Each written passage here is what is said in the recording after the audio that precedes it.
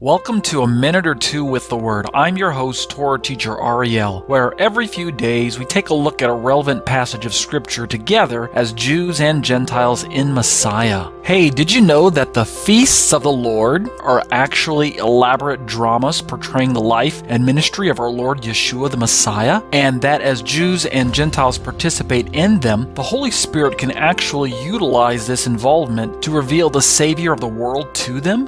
Take a look at this passage from Leviticus with me, and I'll show you something that is often overlooked. Leviticus 23 1 and 2 from David Stern's Complete Jewish Bible reads Adonai said to Moshe, Tell the people of Israel the designated times of Adonai, which you are to proclaim as holy convocations, are my designated times. Firstly, we should instantly notice that God calls these holy days my designated times. They are God's holy days. Yes, they were given to Israel to walk in, but that does not automatically make them somehow exclusively Jewish. Simply put, if God is your God, and if Jesus is your Lord, then these holy days were given for you to participate in. Secondly, in both biblical and modern Hebrew, the word for appointment is moed, translated as designated times in Stern's translation above. Interestingly, the root of the related word mikra, translated as convocations by Stern, is kara, and this word can actually convey the sense of rehearsal. I like to think that in this way, God masterfully designed his holy days to act as sort of dress rehearsals for his children.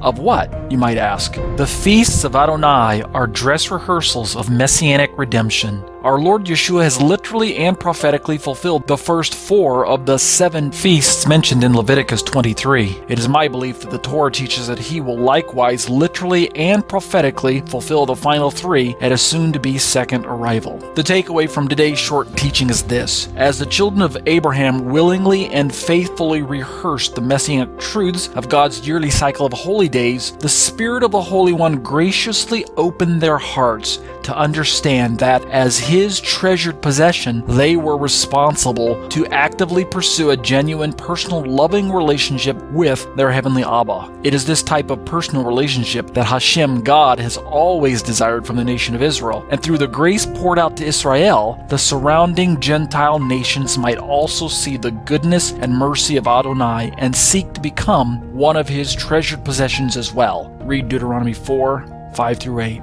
Today, our covenant responsibilities to our God have not changed any more than the covenants made with his treasured people have changed. He is our God, and we are his people.